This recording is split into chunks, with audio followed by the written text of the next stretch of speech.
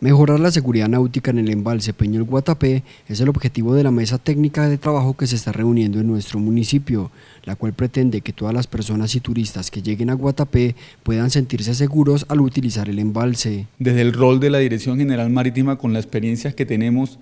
en la aplicación de las diferentes normas en el mar,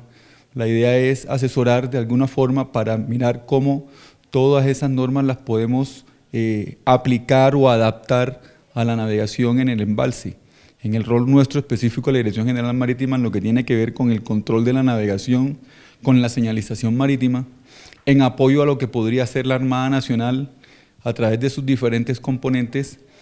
para mejorar este control, hacer que las actividades náuticas en el embalse sean más seguras y proponer porque el turismo en la región sea mucho mayor y pueda hacerse de la mejor forma posible para todos. El trabajo pues apenas inicia, eh, estamos empezando precisamente a buscar las formas como toda la actividad náutica que se desarrolla aquí en el embalse pues sea segura para no tener eventos catastróficos, eh, se busca pues eso, apoyar de tal forma que desde nuestra experiencia como Armada Nacional, como lo hemos venido haciendo eh, en los mares, eh, podamos poder aplicarlo aquí en, en, el embalse y que así de forma pues nosotros aportemos al Ministerio de Transporte, que es el directo responsable a través de la inspección fluvial y que se den los resultados esperados. Este embalse se ha convertido en referente a nivel nacional debido a la gran cantidad de turistas, los diferentes y numerosos tipos de embarcaciones y los imprevistos que se han presentado en los últimos meses. La misión constitucional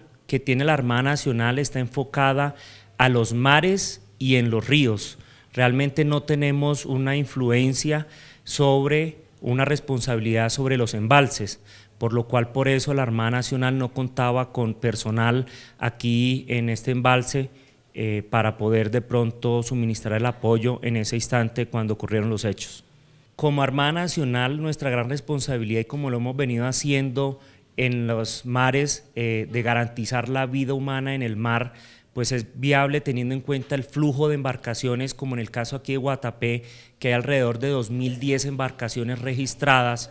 pues se ve necesario que realmente se entre a verificar, a controlar y a supervisar eh, el movimiento náutico que hay aquí en el embalse. Se tendría que analizar también los otros embalses que hay en el país para ver qué tan pertinente es la presencia de la Armada Nacional en esos sitios. Desde la Armada Nacional y la Dirección General Marítima se busca apoyar y asesorar al Ministerio de Transporte con respecto a las leyes y reglamentaciones de navegación en los embalses, para que de esta manera se puedan implementar nuevos protocolos y procesos de navegación segura. Lo primero que habría que hacer es eh, tramitar la parte jurídica que el Ministerio de Transportes eh, delegue la responsabilidad que ahorita mismo tiene a través de la inspección fluvial,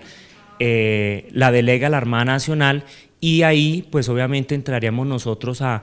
implementar todos los medios y proyectar todo lo que se pueda hacer para eh, garantizar esa seguridad humana en el mar aquí en el embalse. Lo que viene pues es seguir trabajando en coordinación tanto a nivel local como a nivel nacional